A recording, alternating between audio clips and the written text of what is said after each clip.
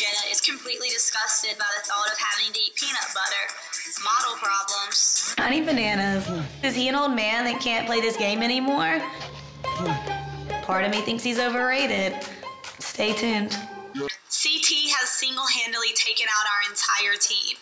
And as much as I love to see bananas get hit, this is not the time or the place. You've been on how many of these? Six? Like, why don't you like learn how to Yeah, swim? you should probably start swimming because you know this like part of it. Like I would be scared.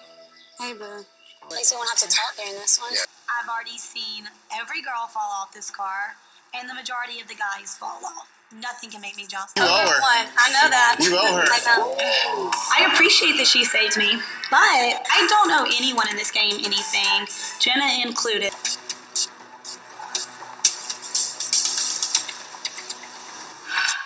Jenna. Jenna. Jenna. Get back in 10th grade. I was like, a penis? What's that? And I touch it again and again and again. Brittany and Adam, 69 on the dance floor. It was strange. I said, you kidding? Why, you just held her upside down? Yeah, it was really strange. They are strange. They really, they were making out on the bar. Hell, I guess that's what Adam's for. Everybody make out with it. Mm-hmm. Nicole, you thought you looked like a badass, but you kind of just look like an asshole. First thought in my mind is a lot of these girls don't even know who their ex is because they've done hooks up with half the cast. Natalie, I'm treating you like I would treat anybody else. So why are you being mean? Like, Nothing happened with me and Leroy in the bus ride home. Nothing happened. I swear to God, I always look guilty when I'm innocent. It was a long bus ride home.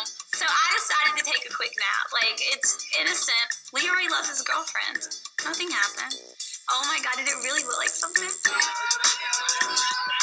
Maybe I did feel his penis. On accident. I'm not kidding. I think Knight is actually copying a couple feels. Why are you touching my ass? I don't think there's any paint there. I have a lot of experience of bopping bitches in the head, so I'm okay with this. This is like a therapy session for me.